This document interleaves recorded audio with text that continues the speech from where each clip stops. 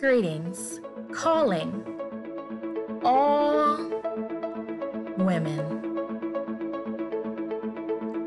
On behalf of the Women's Auxiliary, we are so excited. We invite you to the Intergenerational Social. Join us for scripture, prayer, fellowship, and games. There's a special call for millennials. God is within her. She will not fall.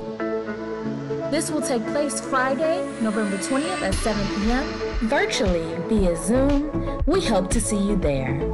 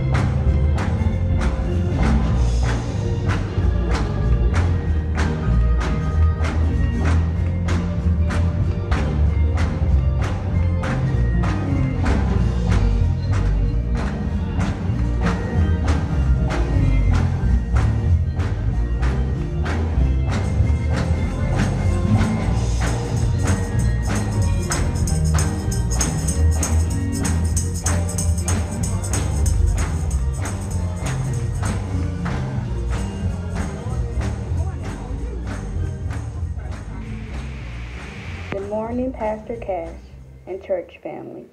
I am Skylar Franklin, and I am currently away attending Capital University in Columbus and majoring in music technology and minoring in film. Today is Youth Sunday, and our 64th Sunday School homecoming celebration this year led by our junior department, Jane Gaston, Superintendent Carrie Reeves, Superintendent Inez Edwards, and Lisa Grills, instructors, and Darlene Doxy Williams, the Sunday School General Superintendent. This year's theme, Virtual Reunion 2020. We are family. Let's get started.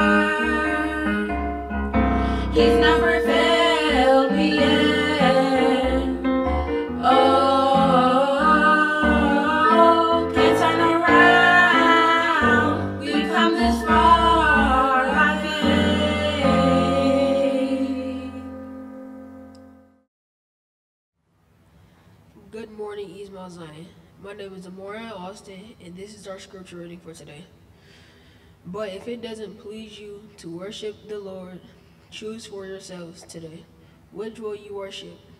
The gods your fathers worshiped beyond the Euphrates River, or the gods of the Amorites? In whose land are you living? As for me and my family, we will worship the Lord. This is the word of the Lord.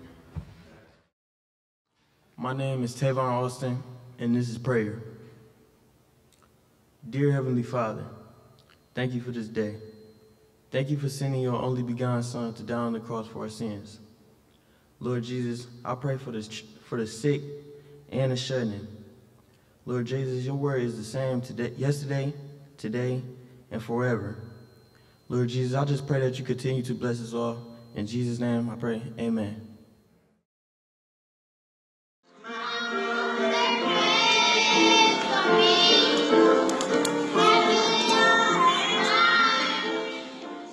Name is Jenny Marie Barkley. I represent five generations at East Mount Zion Baptist Church.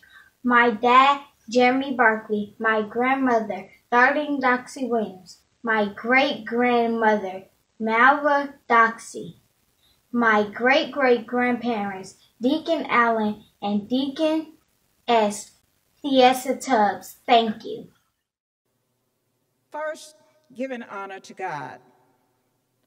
On behalf of our pastor, Reverend Brian Cash, the ministerial staff, church officials, and the entire East Mount Zion family, we say good morning.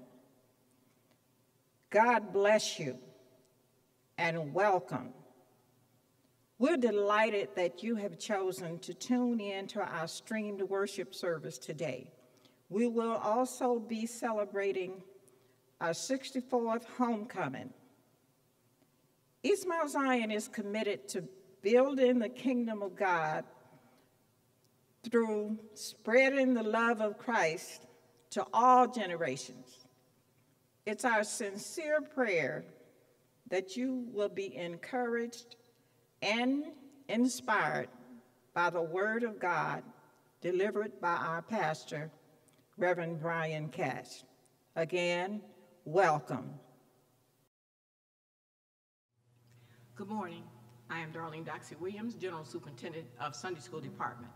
I would like to thank the Junior Department for this homecoming celebration, coordinated by Sister Laretha Grills, Assistant General Superintendent, for also Superintendent Jane Gaston, Assistant Carrie A.R. Reeves, and Sister Inez Edwards.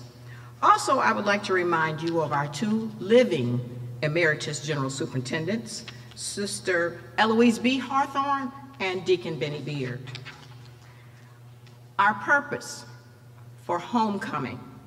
Each year, a worship service, our annual homecoming is held. This celebration is organized by East Mount Zion Sunday School Ministry, which is the teaching arm of the church. Today we celebrate our Sunday School 64th anniversary and our church's 112th year in history, and are coming from East 103rd Street and Cedar in November 1955 to this present location at 9990 Euclid Avenue. At this time, the church was under the pastorate of the late William N. Downs. What a blessing from God. East Mount Zion was without a shepherd for more than a year in 1976 and part of 1977. Then God sent Reverend Dr. A. Charles Bowie, who led us to achieve total unity in the body of Christ from January 1978 until his retirement in April 5th, 2019. On January 1st, East Mount Zion of January 1st of this year, 2020, East Mount Zion transitioned into a the next season of ministry and service on behalf of the Lord God Almighty by calling Pastor Brian A. Cash as our new pastor. Pastor Cash began his stewardship at East Mount Zion February 7, 2020. Homecoming truly reminds us that we've come this far by faith, leaning on the Lord, and reminds us we are family. With this annual homecoming celebration, As current and former members and friends come together, we honor history, the history of our church and the Sunday school. Always glorifying God, we celebrate who we are, children of God. We carry forward a legacy built on one foundation, on Christ, the solid rock we stand. With Jesus as our master teacher, we endeavor to meet students where they are and to teach to change lives. Thank you.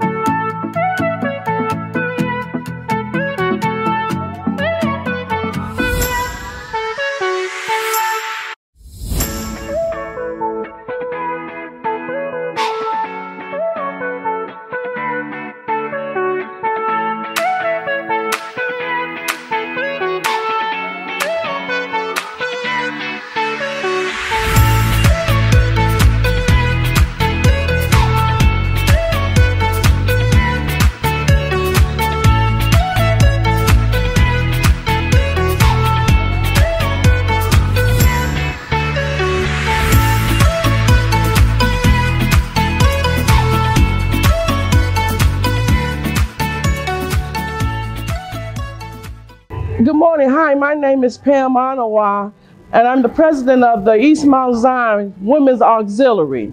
This morning, we are here at the Go To Church Laundromat to share, to partnership, to come out and, and um, talk and to help, um, to reach out to um, help um, the customers here at the laundromat by um, paying for their washing or purchasing their detergent. We just come out uh, from the church to reach out to let them know that we love them. We call it love at the laundromat. So that's why we're here just to share, just to reach out, just to talk to them, just to encourage them, to let them know that Jesus loves them.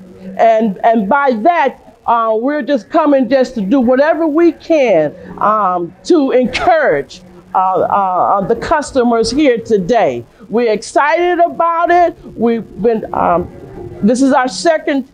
This is our second time coming to um, the laundry uh, laundromat this morning. So we really um, are pleased and thankful to be here because we was very well received the last time that we was here. So we just thank God and praise God for the opportunity to be here this morning, to reach out, to share, to partner, and just most of all, to tell them, to talk to them about our Lord and Savior Jesus Christ.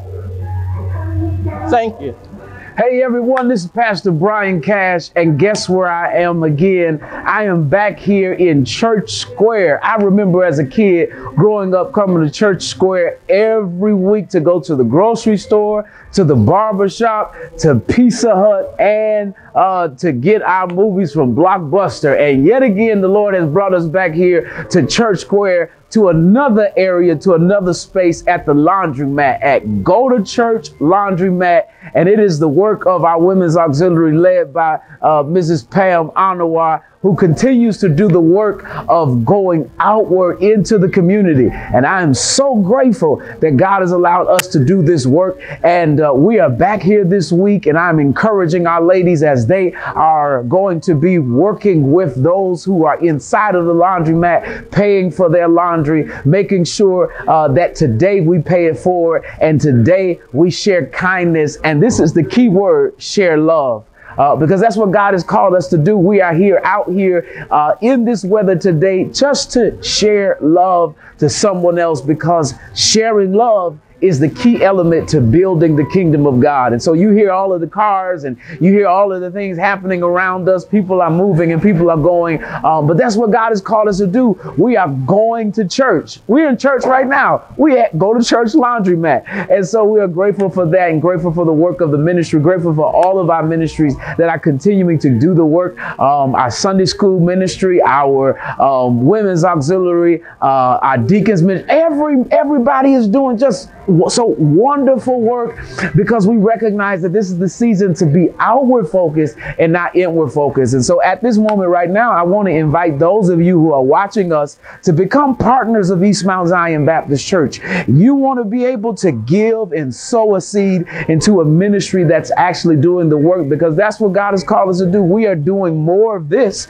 um, because of the work and the partnership that you have joined in with us. Last week, we talked about partnership in the gospel. And so I ask right now for those of you, this is our giving moment. Those of you who desire to partner with East Mount Zion Baptist Church and give to our church so that so that the work of the kingdom continue to can continue to spread and can continue to go forward. And so right now there's many options for you to be able to give uh, to the East Mount Zion Baptist Church and you'll be able to sow a seed into this ministry and you'll be able to share in the partnership in the work of the kingdom of God. You can text EMZBC to the number 77977 and be able to share a gift to our church. You can also drop by our church. There is a drop box outside of the Suzie Lee Lounge for you to be able to share a gift there, or you can mail a gift. The address is on the screen. I just want to give you an opportunity to partner with East Mount Zion Baptist Church as we share in the kingdom of God. Let me pray for you right now. God, we thank you for those who have uh, come to together to sow a seed into the ministry as we begin to sow a seed into the lives of those who are in this space today. Bless the efforts of our women's auxiliary. Bless them as they grow and bless all of our efforts as we continue to support and partner with this community. Thank you that we are growing in you and becoming a better church because of you. It's in your name that we pray. Every child of God said, Amen. Thank you all so much for your gifts and thank you all so much for doing the work that you continue to do. May the Lord bless you and keep you. Amen. It is it is just a beautiful opportunity now for East Mount Zion in the midst of all of the craziness that has been happening this year to be able to assemble together around the dedication of this beautiful baby, Sage Christie. Amen. I want to read Psalm 127, verse 3 through 5. It says this Children are a heritage from the Lord, offspring a reward from Him. Like arrows in the hands of a warrior, are children born in one's youth. Blessed is the man whose quiver is full of them. They will not be put to shame when they contend with their opponents in the court. Now, usually when we have baby dedications, it's usually a full room of people to show that it takes a village to raise a child. And that it's a community of people that stands behind you. But the reason why I wanted this to be on recording is to let you all know that we all are standing behind you. And that whatever you all need in the raising of your beautiful daughter, to make sure that she becomes who not only you want her to be, but who God has destined her to be. My wife and our deacons and this beautiful family is here standing behind you. But it only symbolizes also that it's not us that makes her who God wants her to be, but it is God who is directing her steps. It's God that's directing every step that you all make from here on out as she turns one and two and then comes all the way to 18. From that process, it's God that's going to be working with you. And the whole piece of dedication is, is now that as you dedicate her to Him, you're not only dedicating her to Him, but you're dedicating you all to Him. And you're saying, God, I can't raise her ourselves because we don't really know what it takes to raise her to be who you want her, him, her to him to, her to be. But the reality is, is that God is going to guide every step. God is going to give you every provision. God is going to do everything you need him to do. And this moment today, are you saying to God, I'm giving her to you because you gave her to us. And so this family, we, we stand with you and we in prayer. And now let us go to God in prayer as we dedicate Sage back to God. Gracious and kind God, we come to you, come to you during a difficult season of COVID 19 that has caused us to be disconnected from everyone. During a season where it's difficult to even do the various different things that we want to do, but God, you've given us a beautiful moment, a moment of new life, of no, a moment of new possibilities, a, a moment of new potential in this beautiful life of sage. That word sage speaks to wisdom. It speaks to great understanding. It speaks to also a heritage of others who have come before us. And so God, because you have already charted the course for Sage, you've already made ways for her to become who you desire for her to be. We now not only dedicate her to you, we also dedicate her father to you. We also dedicate her mother to you. We also dedicate this family to you because God, they cannot do this without you. God, as we stand beside her and behind her and an entire community of people that stand with her in the virtual world, we all dedicate ourselves to you. Because in order for us to be able to lead her and the more and all the other children that are about to come to our church and our community, we need you. We cannot do this without you. And so, Lord, we this morning dedicate our lives, our hands to you, our feet to you, ourselves to you. And God, we pray for this child this morning. That God, you would wrap your loving arms around her and let her feel you in the ways that she needs to feel you. And as she comes to age to make that decision to join into the family of God, we pray, oh God, that you will reveal yourself to her and that her family will begin to have everything they need to lead her closer to you.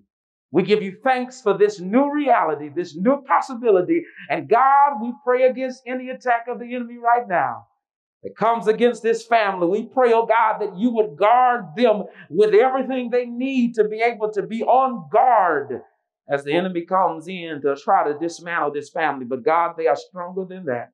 Bless this grandmother. Bless the siblings. Bless everyone who assembled in here today, the grandfather, everybody who's here this morning. We pray that you would strengthen them so that this family could be even stronger. We pray that they're stronger, oh God, than they've ever been because Sage is going to need a strong family. They're going to need a family that's together and praying together and staying together because she's going to need that image. But God, because this morning we've dedicated our lives to you, we won't have to worry about that. Because God, we know you're leading us. You're guiding us in every way. We give you thanks and we give you praise. It's in your name that we pray. Everybody said amen. Brothers and sisters, continue to pray for this family and continue to lift them up because God has a special plan for this beautiful daughter called Sage. Amen. If you give God a hand clap of praise. Amen.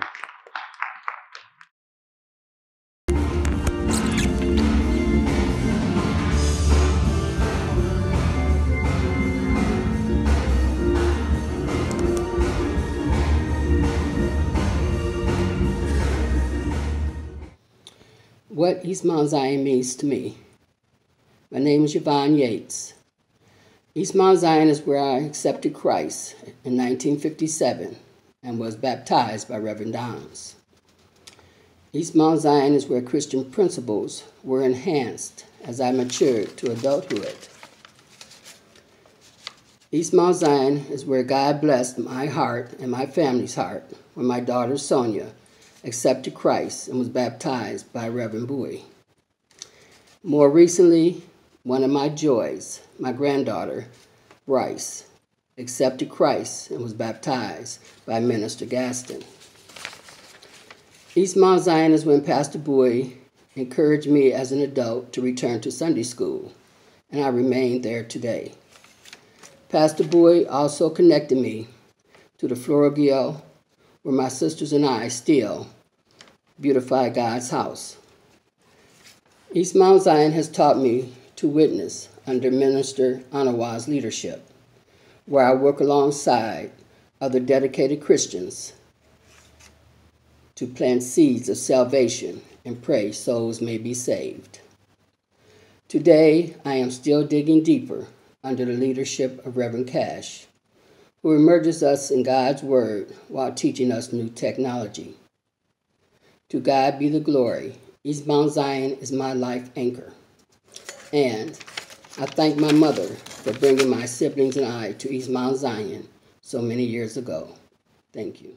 Hi, I'm Sonia, and this is my daughter. Bryce, and I'm eight years old. And what East Mount Zion Baptist Church means to me, it is special because that's the place that I got baptized at. It is also special to me because it is where I was also baptized at. East Mount Zion will always hold a special place in my heart. Thanks. Thanks. Bye. Bye.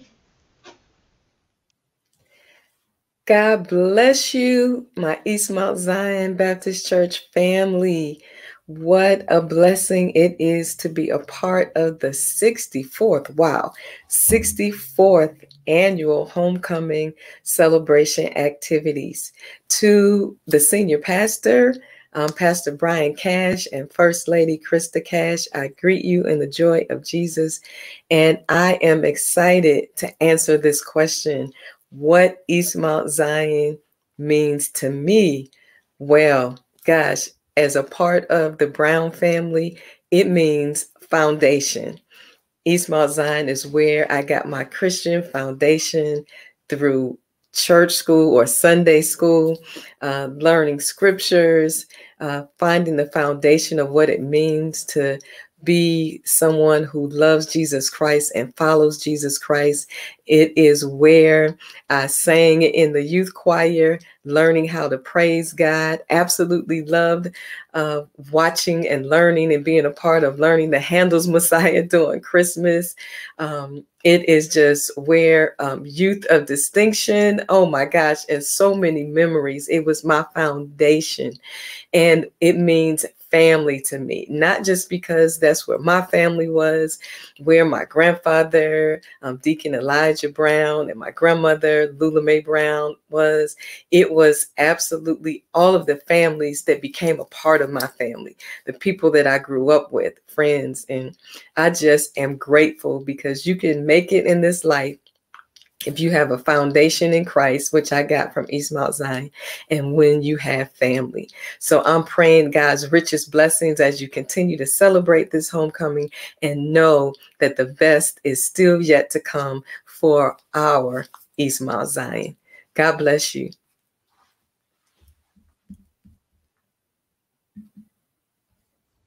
Hello, we're the Cobbs. Miles and Carla. I'm Carla. He's Miles. Take it away, Miles. What East Mount Zion means to me. East Mount Zion has been a strong force in my life since I was a young child. My parents brought me to East Mount Zion as a baby when it was located at 100th and Cedar. We later moved to the current location, 100th and Euclid. I accepted Christ at age 10 and was baptized by the late William M. Downs in 1957. East Mount Zion has been a sustaining lifeline to me as I grew up through the teen years, school, and into the competitive world. The lessons learned at East Mount Zion have followed me all my life.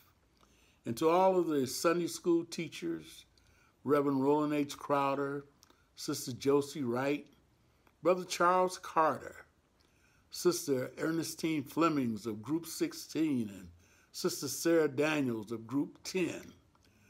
Sister Cornelia Lowe of the Usher, Junior Usher Board and Brother German Thompson. They all provided me with the guidance that has brought me through East Mount Zion from the cradle roll department in the Sunday school to the chairman of the trustee board. The fond memories of East Mount Zion and all the wonderful members will linger with me all of my life. And now a word from my wife, Carla. I like that, Miles. The fond memories of East Mount Zion and all of the wonderful members will linger with me also for the rest of my life. It has also made me the woman that I am. I am thankful that my parents also brought me to East Mount Zion as a baby. So from the cradle roll to the pew is what I like to say. There are fond memories of me uh, kind of crawling around on the floor at, to my mother's displeasure, but I was in church. Church is my community, and it was definitely my family, and I, I will tell more about that later. Historically, the African American church has played a large part in black families. It has been a place to read, to learn to read. It is a place of entertainment. It is a place to learn appropriate dress. It is a place where we learned compassion.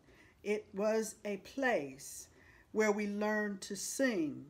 It was a place where we practiced manners. It was a place where we learned communication skills. We learned how to speak in public. And we learned and practiced giving.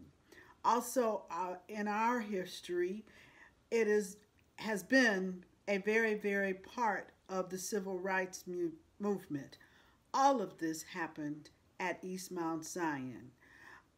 I am thankful that not only that, I learned some etiquette skills on how to dress and how to be a lady. And I learned some skills of marriage, how to love and how to be loving. I'm still working on it, but in Sunday school we did. We practiced reading our lessons. So that was the importance of that. Um, teachers would have us to read from our, our Sunday school books. We would practice talking with each other so we were communicating. These things are truly missing in our society today. Um, we've become very, very dependent on what is important and we've kind of lost focus. We have become dependent upon our cell phones and they are a great help. We're recording this video on one now. Anywho, um, the usher board, I was a member of the junior choir. That was my singing. I still don't sing well, but I practiced. The usher board, um, they believed enough in me that they elected me as vice president, first vice president under Brother Thomas Stith and under Sister Mary Cameron. Um, again, I learned skills. Um, Sister Lolia Holt um, imparted in me and gifted me the chairmanship of the William M. Downs Aid to Education program. And then the church saw fit to practice what skills that my parents had paid for and elected me also to serve and where I got a chance to be in companionship with my hubby on the trustee board. Again, practicing lifelong skills. We have moved to Arizona, but East Mount Zion is still very, very much a part of our lives. We try to keep in contact with very various ones, and we're very thankful to Sister Darlene Doxey, to Trustee Ingrid Blaylock, hey Ingrid, oh, and um, and others. And so, as we have fellowshipped with a new church here in Arizona, it has continued to play a large part in our lives. Thank you, thank you, thank you. We love you, East Mount Zion. We love you. Hey. hey, what's up, East, East Mount, Zion? Zion? I'm Chucky. And I'm Sonia Shepherd Webb. And uh, it's just an honor and a privilege to be able to sit here. Wow, I don't know how many years later and and able to make a video and say hi to everybody out there in the EMZ. EMZ So we were asked, what does East Mount Zion mean to us? Of course, it's a foundation. It's where we came almost every Sunday um, because mommy made us. Vacation Bible School. so we've done it all. We've done the choir. I was an usher. Were you an usher? Never mind. So anyway, he was in the choir. we did all the youth activities. Um, it's like I said, it's our foundation. We've met some really great people. We're still friends with those people. Our salvation was there. Our rock is there. What else, Chuck? Foundation. Uh, it was just a refuge. It was a place to go and and have a different set of friends. Right. That we still have. That right? we still have. I love uh, coming home and and, and and it's like we never left. And the stories and the, the memories, some of the things people say about me that I forgot because I was a little angel. Yes, yes. Um, no. Little halo. Do y'all see the halo behind me? so listen, you know, when we were younger, we went to um, the nursery up those steps, and I believe that's why I love Ritz crackers, but I do not like red punch. And that may be why because we had it every single sunday. Yes we drunk the kool-aid. Yeah literally. So anyway we're thankful for our east mount zion family. We're thankful that that is the place where you know pastor bowie baptized us and we met god. 1978 and we're still, still on the battlefield doing great things for God, doing great things for God and representing our families. So we love you, East Mount Zion. We're so proud of Pastor Cash and his beautiful wife, and we can't wait to get back there. You listen to the song in the background? hey, we gotta go ahead and cut this off right here because we got Easy E on right now. Wow, why? oh, let's cut it off. See y'all. Hit it, hit we it. love you. Where, where's the button? I don't know, stop Oh my. God, is this it? Yeah, hit it. All right, love y'all. Bye. Bye bye.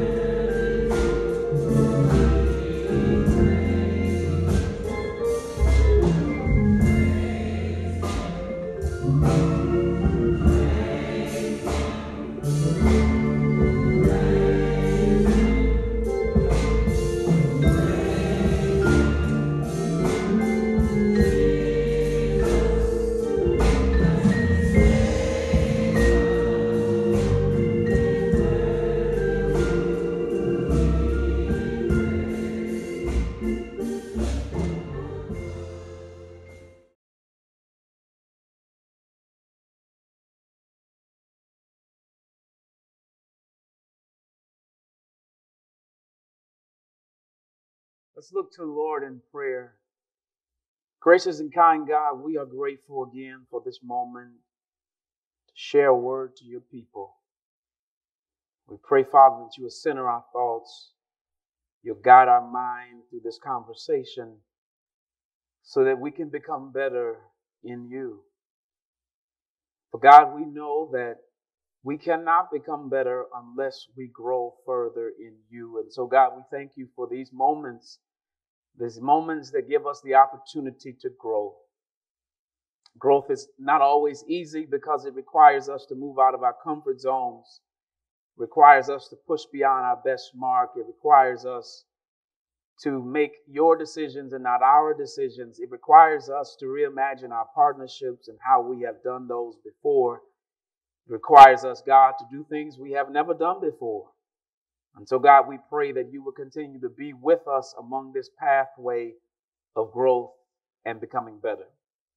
We pray now for East Mount Zion Baptist Church. We pray now for our church family, those who are at home, those who are sick. We pray, Father, right now that you would be a blessing and touch them. Remind them that you've never left them, but you have always been right beside them. We pray now for this preach moment, this moment to share. We ask, oh God, that you would decrease myself and increase yourself. That God, you would get all of the glory, that someone would be blessed and touched by this word. And that at the end of the day, that they will grow closer to you. It is in your name that we pray. Every child of God said, Amen. This morning, brothers and sisters, we are continuing our series on Better Church. It is not because um, we just like the term Better Church, but it's actually because we desire to become a better church. And we started the first sermon uh, of this series on the first Sunday of November talking about a better church is a church that grows in the knowledge of God. That you cannot become stronger unless you know uh, that I must grow in God's knowledge. We share that God's knowledge is something that pushes you beyond your best mark. And so I pray that you have put your best mark on the wall and have made a commitment that as you go into the year of 2021, you are pushing beyond that. Then we talked about last week growing in partnership. The partnership begins with God. We need to reimagine our partnerships with God to become more interdependent partnerships. We also need to reimagine our partnerships with each other. That we don't need to fight among each other, but we need to be working in step with each other. We need to be working in cycle with each other, not crossing each other. And then we need to reimagine our partnerships with community. That God is calling us to reimagine how we partner with the folk who are outside of these walls. God wants us to have a better relationship with people who we generally don't have a good relationship with. The people that we have become disconnected with, we want them to know that we are here sharing love to them. We are here so that they can grow in their faith as we grow in our faith and we all grow together. And so that's partnership. But this morning, I'm so excited as the Lord has been wrestling with me about this text today found in Ephesians chapter 1, verse number 15. Would you go with me this morning? I'm going to ask that you have your Bible because we're going to be going through several different scriptures to illustrate what this next step of growth requires of us. First, it's in Ephesians chapter 1, verse number 15 says, For this reason, ever since I heard about your faith in the Lord Jesus and your love for all of God's people, I have not stopped giving thanks for you, remembering you in my prayers. I keep asking that the God of our Lord Jesus Christ, the glorious Father, may give you the spirit of wisdom and revelation so that you may know him better. I pray that the eyes of your heart may be enlightened in order that you may know the hope to which he has called you, the riches of his glorious inheritance in his holy people, and his incomparably great power. For who us, for who, for us who believe, and his incomparably great power for us who believe. This morning, I want to share on this sermon as we continue in this uh, next stage of conversation in regards to better church. The sermon series this morning is growing in the wisdom of God. Growing in the wisdom of God. What is the wisdom of God? All right, what, what is the wisdom of God? And that's what we'll have a conversation around tonight or today the wisdom of God. Well, wisdom uh, is something that we believe connects to experience, right? We say you are wise because you've been on this job for 30 years and I could come to you because you have wisdom.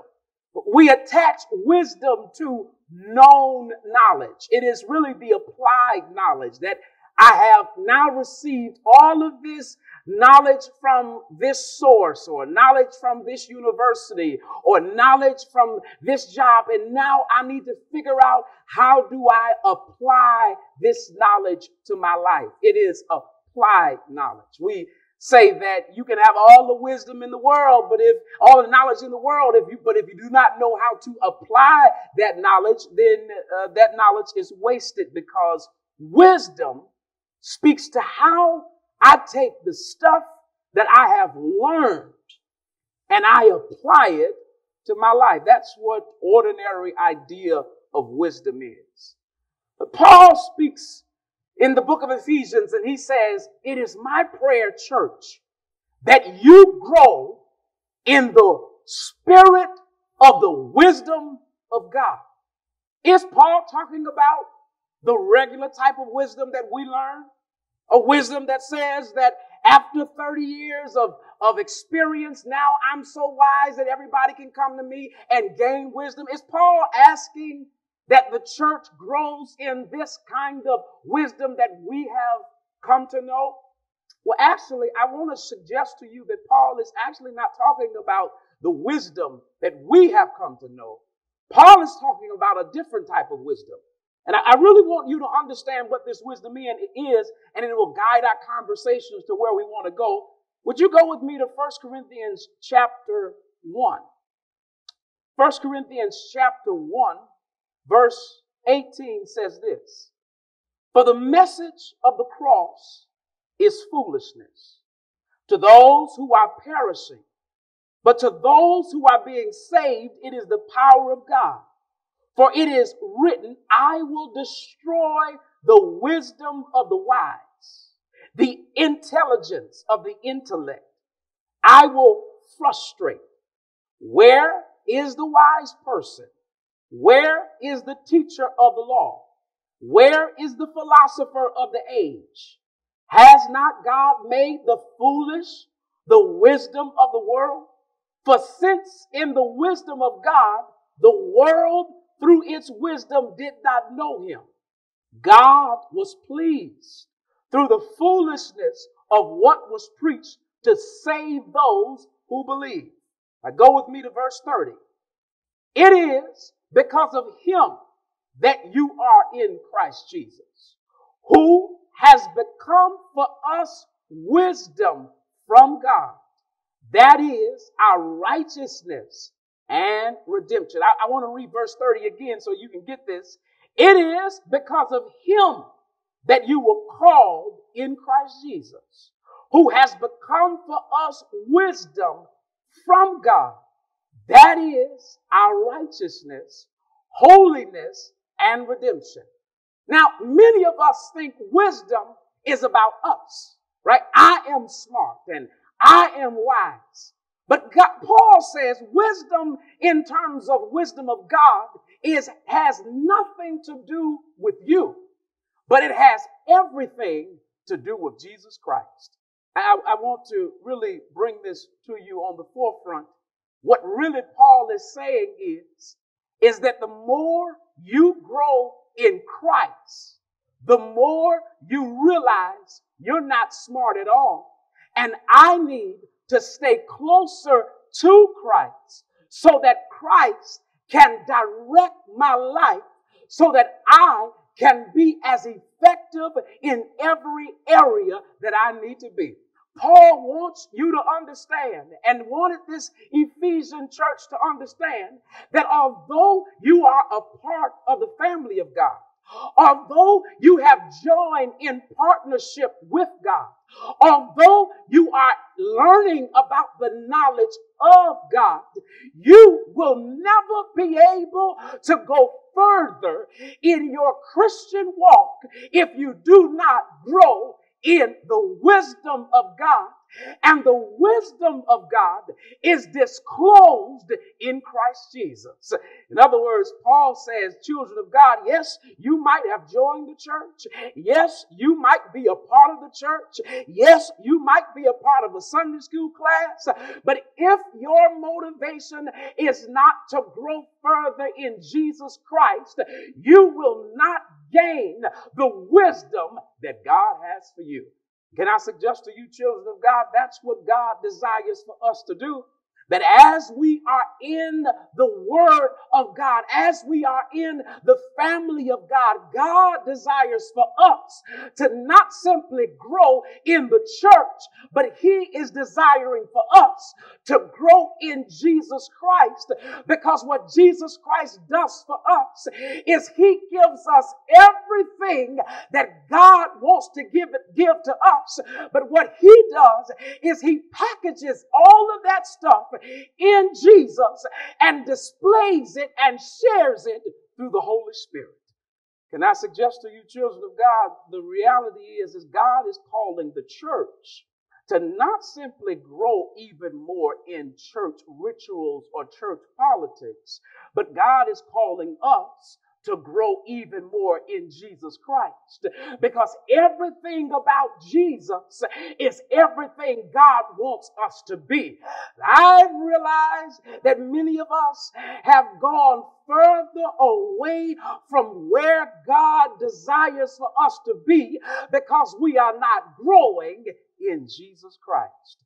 Paul really wants the Ephesian church to know this that if you're going to become better, if you're going to become stronger, it is a, it is a reaction or response as a result of how you grow in Christ.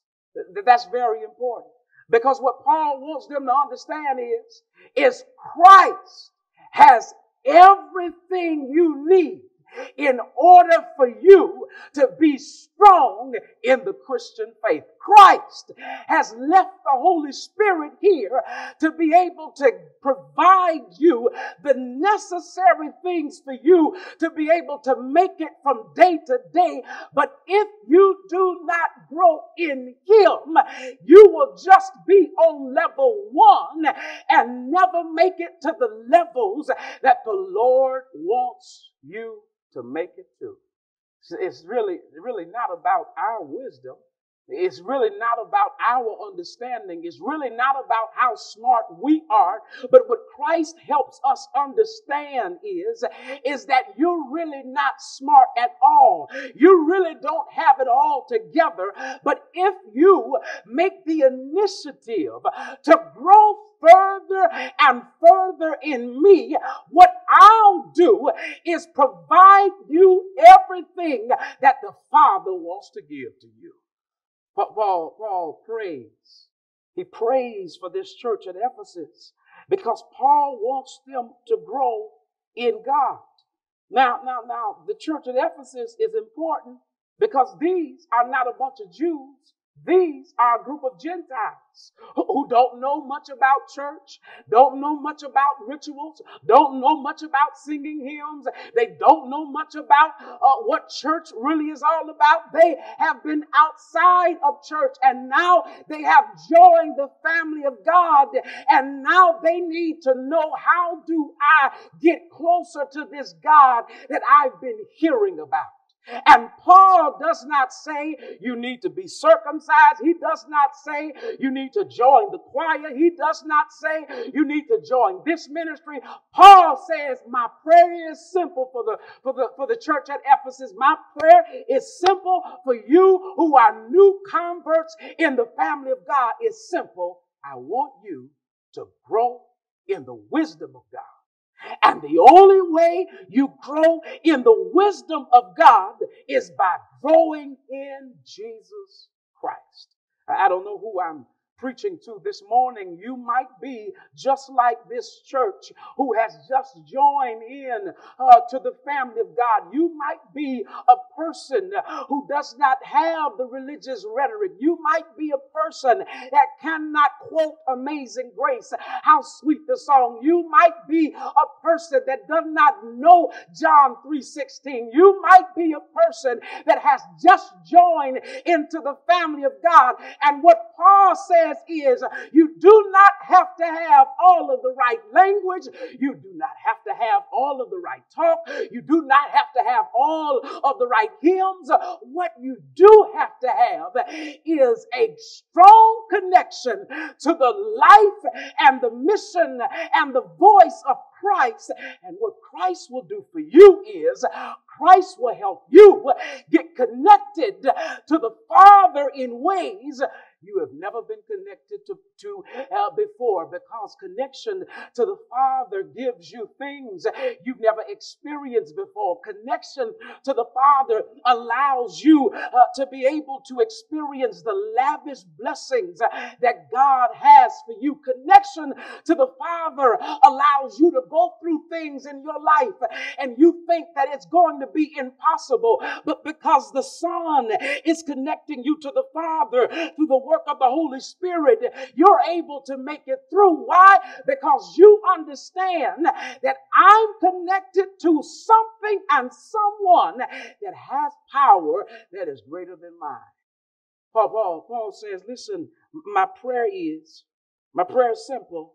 Not that you grow in your own wisdom, not that you grow in the wisdom of, of people before, because other folk are gonna try to tell you you need to uh, be circumcised. Other folk are gonna try to tell you you need to do this and you need to do that. But this is what I'm telling you. You don't have to do any of that. What I want you to do is grow in His wisdom. And the only way you can grow in His wisdom is simple. You got to be connected to Jesus Christ. And, and, and the benefit of being connected to Jesus Christ is Christ. Uh, yeah, reveal some things to you that allows you to have a relationship with the Father that you've never had before.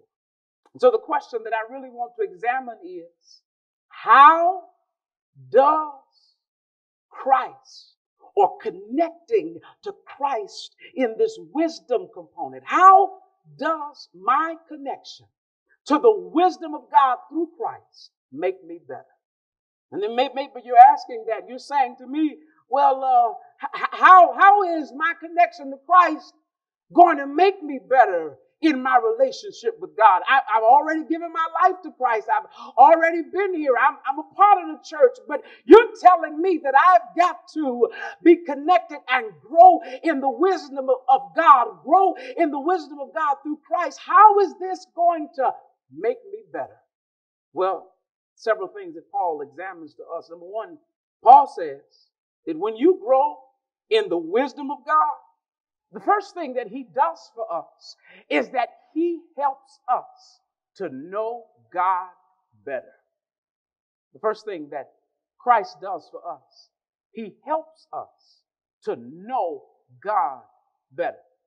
Paul understood that there were all kind of different images of God. Uh, that when the Gentiles joined the church, they joined a church where people were connected to God through ritual, but not personal relationship. When the Gentiles joined the church, Paul knew that the Gentiles were seeing these individuals only showing up the church to do sacrifices to God and pray three times a day out of ritual, but not out of relationship. And Paul understood that I do not want you to get caught up in having a relationship with God that was just mere on ritual. But I want you to have a relationship with God that is really predicated upon personal connection. Paul understood that these individuals might get caught up in, in figuring out what I need to do or what I need to say and how I need to act. And Paul says, What I want you to do is get connected to the wisdom of God through Christ. Because what Christ's whole mission was is not for people to get lost in thinking God desires for them to do rituals to be connected to them, to net connected to Him. But what Christ wanted them to understand is, is that His Father was a personal God. His Father was a personable Father. That's why He uh, does this Lord's Prayer by saying, Our Father who art in heaven. That word Father means Abba, which means daddy. His whole purpose was to allow the people to see that God really wanted them not to be connected to Him through some type of ritual, but actually personal relationship. So he did not want the Gentiles to be uh, convoluted in thinking that I had to do this to get connected to him and do that to be connected to him. And so what he says is what Jesus will do for you is Jesus will demonstrate that the God that you serve is not the God that requires you to do all of these things, but the God that you serve is a God that wants you to be close to him. But he also understood that as they came into this church, people would get into their head. People will start making them think that God wanted them to do this and God wanted them to do that. But he wanted them to understand that what Jesus does is Jesus will dismantle all of those things that people have put on God. And Jesus will take away those type of weights that people have put on you. And he will eliminate those things so that you can have easy access to God. Now, I, I, want Reverend Curry and Reverend Hosea to come and so I can really clearly illustrate this thing in what Jesus does in having us have a close connection to God. You know, when you come into the family of God, people may put things on your mind and, and, and say you got to do this to get to God and you got to do that to get to God. And, and you're thinking maybe God does not love me because I'm not good enough. And m- maybe God does not want me because I, I can't sing like that. Or maybe God does not want me to be around because my family doesn't have these things. My family doesn't do these things. And so in your mind, you stop pursuing pursuing after God. In your mind, you stop getting close to God because you start thinking, God does not love me, and I keep making all of these mistakes. But this is what Paul says. This is what Paul says Jesus will do as you grow into uh, uh, the wisdom of God. Jesus will start pulling that stuff off because what happens in your life is you start adding weight and you start adding these things. I'm I'm sinning and I'm I'm not good and God doesn't love me and so you're trying to get to God, but you've got weight on you and all of those weights that is hindering you from getting to God. And I, am trying to climb up here to get to Him, but my weights are too heavy because of preconceived notions about who God is. And God is too big, and God is too far away, and God doesn't love the homosexual, and God doesn't love this sinner, and God. So I, I got all of this weight on me, and it's keeping me from getting to God. But you know what happens when you get close to Jesus? What Jesus will do is you get close to Jesus, Jesus will take that weight off of you and and and you'll now be uh, uh, uh, less you'll be now free because now you realize I don't need all of that. I, I can get to I can get to the Father easily because the Son has released the weight from me and the Son takes that weight and he puts that on the cross and now I'm not I, I, I have an easy access and that's why Paul says in Hebrews 4 and 16 that now you can come boldly to the throne of grace. Why? Because the Son has done what in Hebrews 12? He has convinced you to lay aside every weight and the sin that so easily besets you. Can I suggest to you, as I talk to you a little bit, uh, you, I, I don't know what you are dealing with and I don't know what you are carrying, but what God uh, does through His Son, Jesus Christ, He helps you to know the Father better by stripping off the stuff that you allow other folk to put on you. God didn't say you couldn't come to Him. God didn't say you had to have it all right to be connected to Him. God didn't say you had to have the right language and you had to have the right actions. No, God says, Cast your cares upon me, for I care for you. God says, Come boldly before the throne of grace because I am the one that's receiving you. Paul says to the Gentile church, I pray. I, you know what he says? He says, doesn't, doesn't just say, I pray. Paul says, I keep on praying. I keep on praying because it is my prayer that you grow closer to Christ. Because Christ, Christ, you know what Christ's gonna do? He gonna take that stuff off of you so that you can grow closer to the Father. But, but not only, children of God, does he say uh, that Christ helps you to know him better, but also Christ helps you to see better. Uh, let, let's, let's go back to this word. He says, not only he says, listen to, he says, he says, the glorious Father may give you the spirit of wisdom and revelation so that so that you may know him better but verse verse 18 says i pray that the eyes of your heart may be enlightened that in may be enlightened in order that you may know the hope to which he has called you i pray that the eyes of your heart uh, may be enlightened in order that you may know the hope to which uh, he has called you. This is this is what Paul says. Number two, Christ will do. Christ is going to do this. Y'all can y'all can go now. Thank y'all so much, brother. These, these are some wonderful uh, help, aren't they? Christ says, He says, listen, this is what Christ will do. Not only will He help you know Him better, but He'll help you see better. He says, What I'll do is, Christ will do, when you grow in his wisdom and all the things that God has disclosed in Christ, Christ will do this. He'll open up the eyes of your heart so that you are able to see the hope he has called you to. Now, now I want y'all to walk with me on that piece. He said, Not only am I going to strip off the stuff so you can get to him and know him better, but then as you grow in him, Ephesians 3 says, He goes where? He goes into the heart of every person that is growing in him. But this is what he says if you grow in him, he'll do. What he will do is he'll get in your heart and he'll put some spectacles on your heart, some glasses on your heart, some lenses on your heart, so that you are able to see the hope that you've been called to. Now, now, I love this because there's a comparison analysis here, because usually I see through my eyes, and I see everything through these eyes. I have pretty good vision. I got 20/20 vision in these eyes. But you know the dilemma with seeing from these eyes?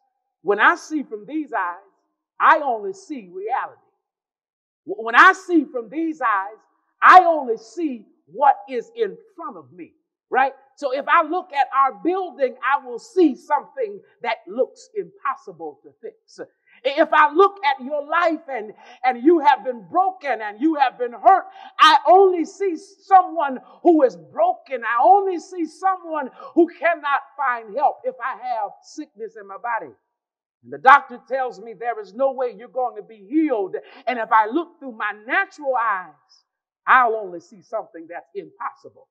But notice what Paul says Jesus will do for you. Jesus will get in your heart.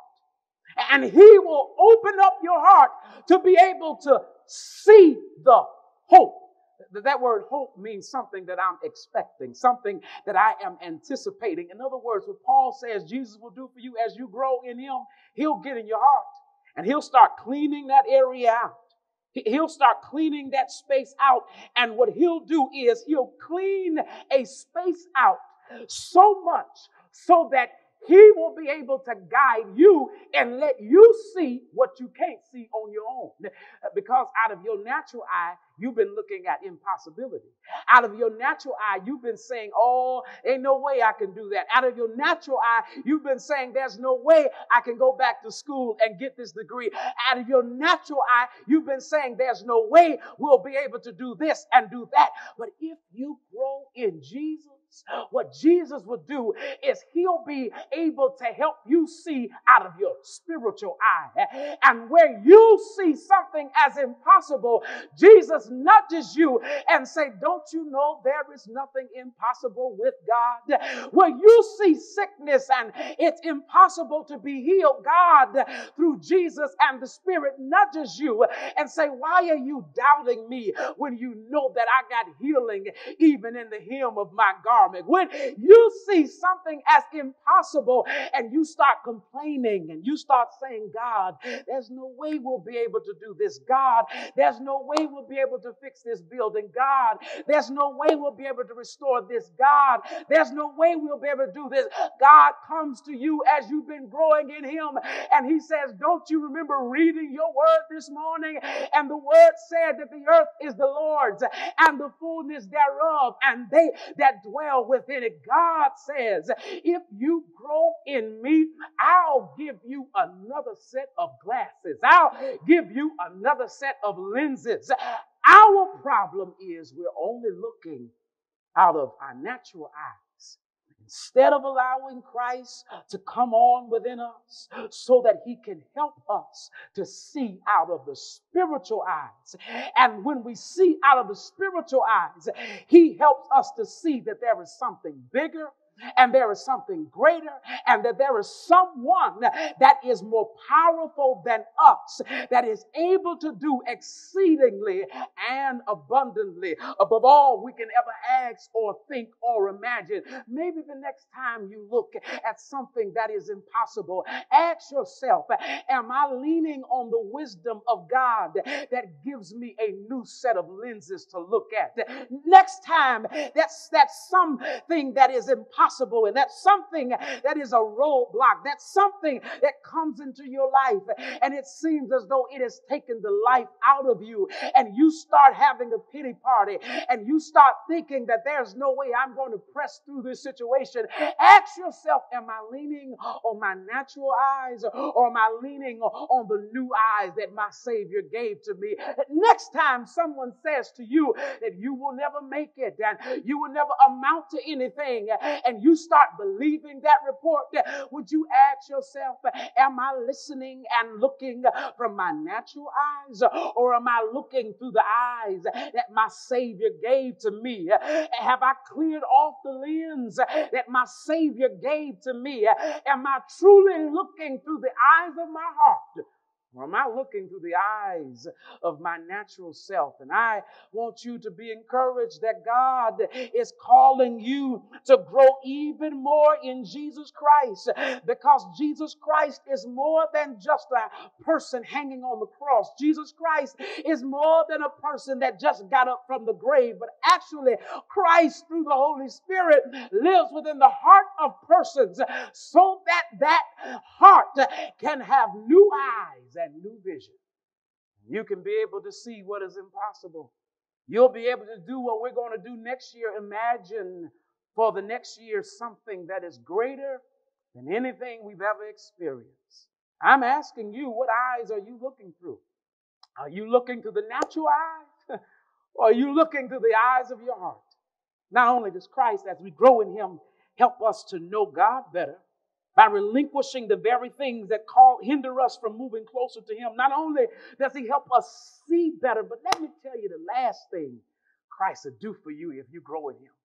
And last thing is he will help you believe better. Let's go back. He says this in ephesians. He says verse number 1 verse 19 chapter 1 verse 19 he says, Not only will you know him better and you'll see better, but he says, the riches of his glorious inheritance in his holy people, and I love this last part, and his incomparable great power for us who believe. Let me tell you something about this power. The power is the same as the mighty strength he exerted when he raised Christ from the dead and seated him at his right hand in the heavenly realms.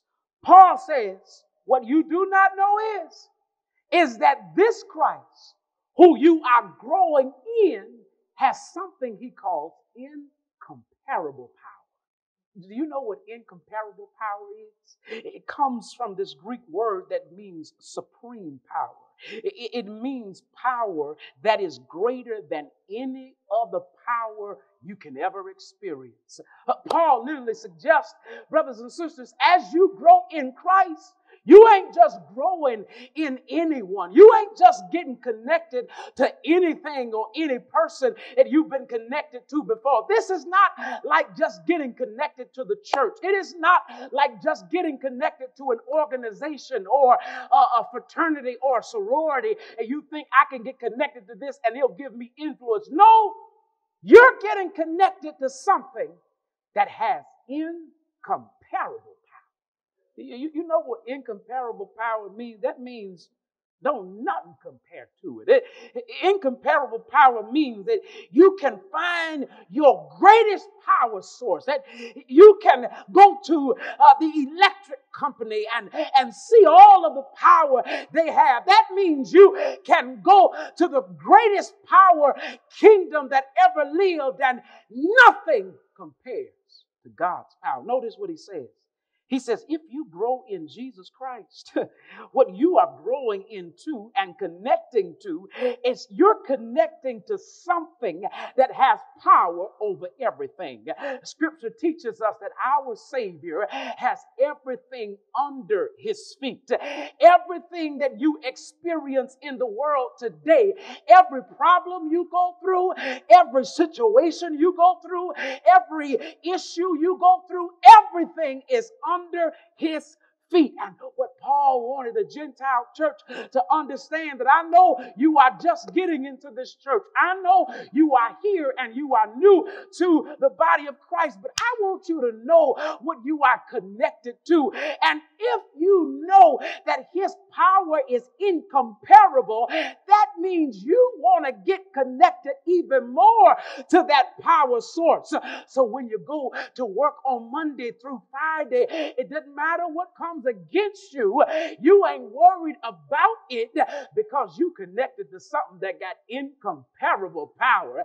That means when you come against a financial situation and you don't know how you're going to pay the bills and you don't know how you're going to pay tuition or you, you don't know how you're going to deal with it, as you grow in Christ, you, you worry less. You are not worrying about it. Why? Because I'm connected to something that got incomparable power. How many of us walk through life with that freedom? How many of us walk through life uh, with that uh, uh with that mentality? How many of us can actually say that I do not worry about the stuff I'm facing because God and me is connected in such a way that He has revealed to me. Why are you worried about that? I'm the one that got that under my feet. But that takes growth. It requires you to grow in Him daily. It requires you to grow in the wisdom of God daily. Why? Because what the wisdom of God will realize will teach you through the work and life of Jesus Christ. That everything I'm facing, I don't have to worry. I can believe even better because the one I'm connected to is the one that has all power over everything I face. So I want to encourage you this morning to grow more in Him. Every day, get up in the morning and grow more in Him because some of the battles we have, we would not allow it to stress us out and worry as we do if we got connected to Him in ways we've never been connected to Him before. It is my prayer that I, even myself, get connected to the power source in ways I've never been connected to Him before. Because there's going to be some demons and some some oppositions and some problems that are going I'm going to face that are larger than the problems and demons I faced before. And I cannot go facing those demons and those problems and those mountains with the same faith I had yet last year. But I need to grow in Him even more so that I can be assured to know that He is watching over me through this incomparable power. Let's pray. Gracious and kind God, we thank you for this moment that we've had to share with you. We pray now, God, that you would help us to grow even more in you, to grow even more in your wisdom, to grow even more in your knowledge, so that we can be able to become better. We can be able to become stronger. And there is nothing that we would face not realizing that God, you're the one walking beside us. Thank you for your Son, Jesus Christ. And thank you for what he means to us. We pray, oh God, that you will continue to develop us and grow us in the way you desire for us to be. It's in your name that we pray. Every child of God said, Amen man.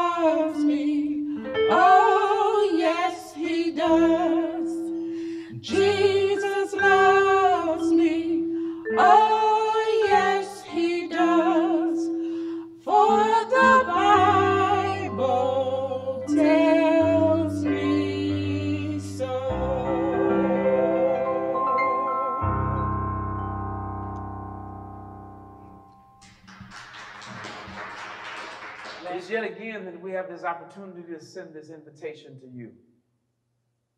God is calling us to become better.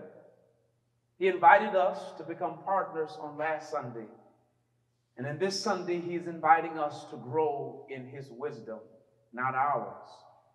And the only way you can grow in His wisdom, as shared in this sermon this morning, is you have to grow in Christ. I'm extending an invitation to the out extended hands of our deacons as a representation that now is a great opportunity for you to grow in Christ. Because in Christ, you have all of the wisdom, all of the knowledge, everything you need to be successful in life. It happens in Christ. So, two invitations I send out this morning. One is that invitation of discipleship. What is the invitation of discipleship, preacher? That's simply, I want my life to be different. I have not been in church. I have not given my life fully to Jesus. I have not committed myself to the work of Christ. I have not invited Christ into my heart and said, Christ, take control. I might have been in church, but I have not had church inside of me. Church is the center of Christ. And so I invite you to now become a new disciple. Walk that pathway with Christ. Let, let Christ change your life in ways your life has never been changed before. The second invitation that I always extend is an invitation of new commitment.